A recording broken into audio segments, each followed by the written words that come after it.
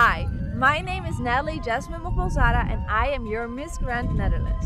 Today we're going to do something that I am extremely excited about because I'm going to take you with me on a quick journey with Dutch snacks.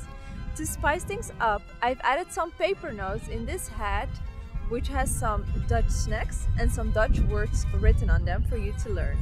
Let's take the first one. The Dutch weather is not going to stop us. Haring. Let's go to a nice fish place to get some haring.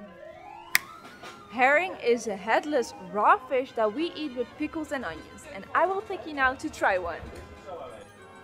And this is how we eat them.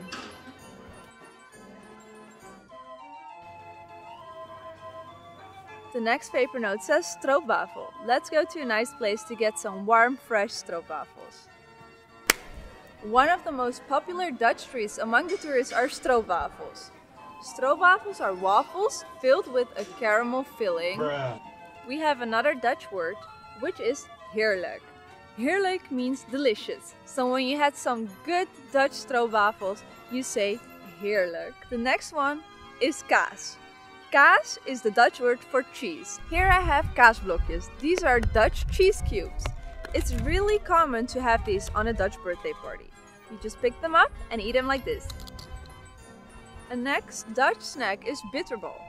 Bitterbal is crunchy from the outside and has a dewy ragout from the inside. And last but not least, we have the oliebol. An oliebol is like a Dutch donut but without the hole.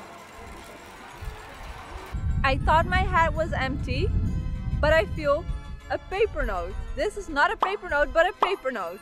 We eat these cookies during our Dutch national holiday on the 5th of December called Sinterklaas.